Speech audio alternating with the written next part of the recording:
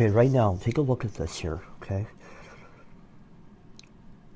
This here, 644, right? This is a copy screen.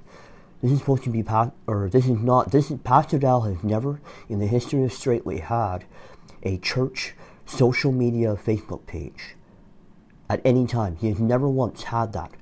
The only thing he does on Facebook is his own personal private Facebook page, and that is like just, it's not to do with any church.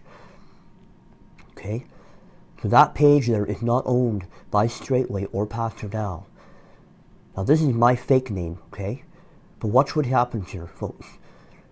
I wrote in here, Pastor Dal just posted a video on Patreon talking about how Steve made $25,000 off his ministries. Almost immediately, why would this come up? Straitway Truth with Pastor Charles Dow. And then he said, look, get behind me, Satan, aka, and then my name. Now watch. Watch what happens here. Now this, that happens, right? Now go to the next slide. He erased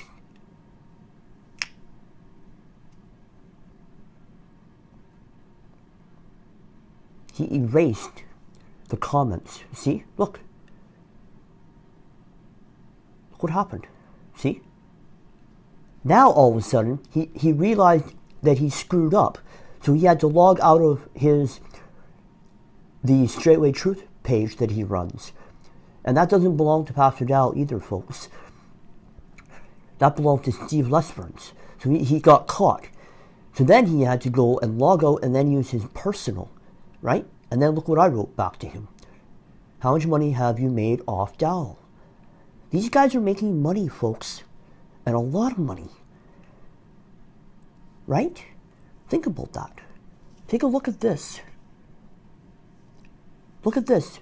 How come on that that that posting that I showed you says three comments? Watch what happens when you hit those three comments.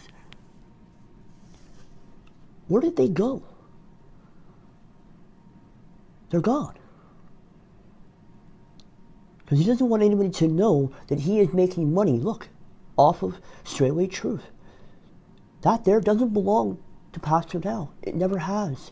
Right there. Stephen Wendell owned that page. This is the most corrupt thing that I've ever seen in a church. One of the most. I mean, and it's sinister. Look, they've got 3,600 people. Look, how much money are these guys making?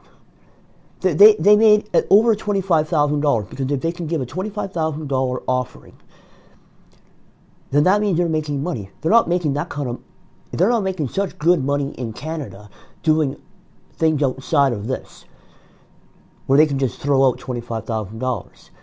Remember, if you go back on his page, they had to move, they, they lost their property. They had to move their property because they don't own any land.